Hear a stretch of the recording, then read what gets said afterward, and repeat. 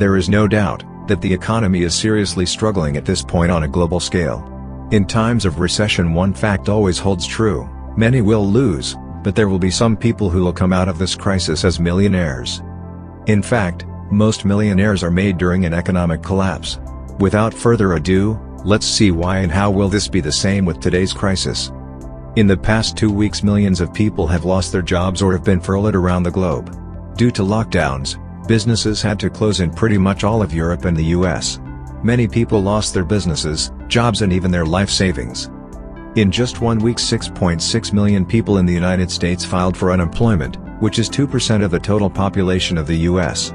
The number of employees in the United States is about 150 million, which means that the unemployment rate just went up to more than 4% in just one week. The awful reality is that many more are expected to lose their jobs in the coming weeks. If that happens, and most surely will, the unemployment levels of the 2008 financial crisis will be highly surpassed. Some experts warn that unemployment rate will go beyond 20%. The crisis that took place 12 years ago was a different kind of blow to the economy. We all know by now that huge mistakes were made in the bank system and in real estate as a whole. We remember the images of people, who had a decent life before the 2008 financial crisis, then they lost it all and had to continue living on the streets. Despite the hit to the economy, there have been people, who have been able to take advantage of that situation. In fact most millionaires are made during great recessions, some of the greatest companies in the world were founded in moments of crisis. But how do some businesses manage to handle crisis and what can we learn from them?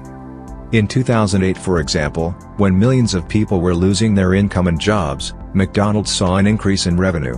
Moreover, the company even made close to 5% profit. The reason behind this is quite simple though.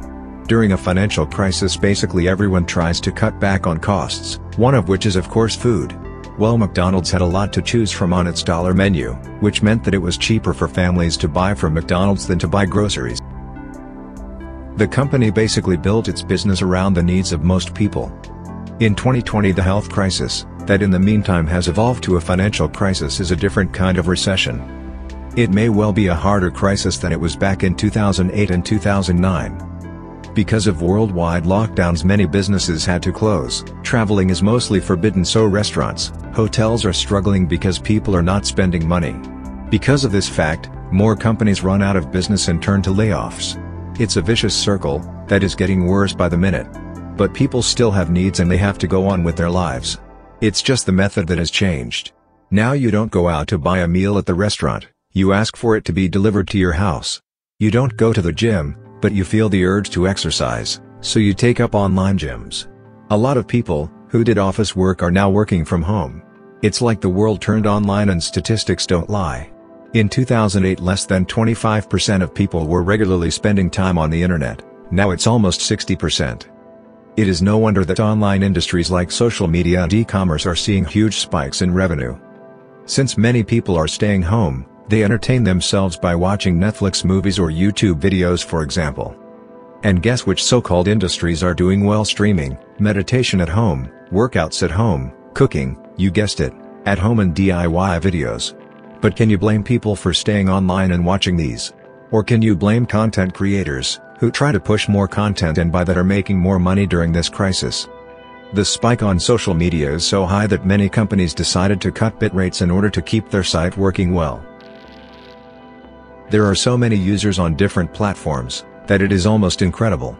Zoom for example saw an increase that not even the CEO of the company expected. Such growth can also be seen in the gaming industry since people don't have sports events to attend. As mentioned earlier, one of the hardest hit at this point are restaurants. Some of them adapted to the new trend, that is using delivery services. While people are being laid off, delivery companies are hiring tens of thousands of people to be able to handle all orders. When all this is over we might also see a shift in how people work and live their lives. So now is the time to take advantage of new opportunities. While staying at home you could as well learn new skills online and build a foundation for future income. Also, if you have some money saved up, in a few months you could be buying a lot of stuff that will be on sale. If you invest in the stock market for example, a stock, share or ETF might end up making you over the long run hundreds of percent of profit. Nevertheless, a mortgage crisis might be developing as well, which means there might be opportunities to buy real estate at low prices which after the crisis is over will be worth a lot more money. How will you handle this crisis? Leave a comment below. Thanks for watching and make sure to subscribe.